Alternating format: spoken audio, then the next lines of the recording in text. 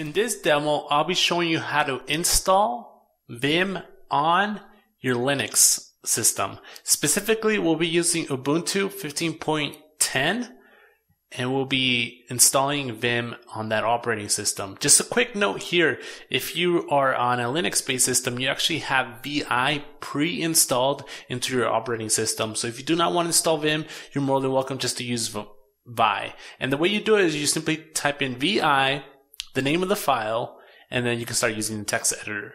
So let's go over to my Ubuntu machine. We'll get started setting up Vim. All right, here I am on my Ubuntu desktop. And what I want to do is I want to look for the terminal here. And I want to open up the terminal. And what I want to do is I want to do a sudo app get install vim. Asking for my password. And this is going to go and prompt me if I want to install it. I'm going to click yes. And this is going to go ahead and install the software now.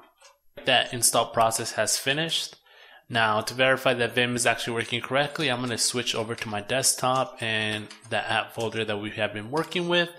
As you can see, we have a couple files here. I'm going to Vim into the app.js file. And as you can see, here I am in Vim and I am making changes. So it'll be like create the next great app here. Right, quit. And that's all there is to uh, setting up Vim on Ubuntu.